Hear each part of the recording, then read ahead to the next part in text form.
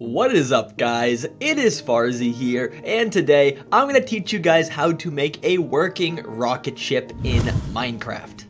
It's a fairly simple design. All you need is 5 building blocks, 5 sticky pistons, 14 slime blocks, and 5 observers.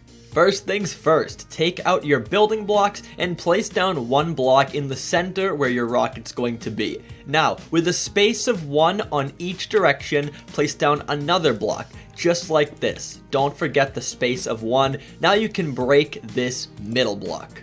Now take out your slime blocks and put a slime block on top of each one of your building blocks, then one towards the middle on every side like so. Now put down an observer where the red dot is facing upwards like this.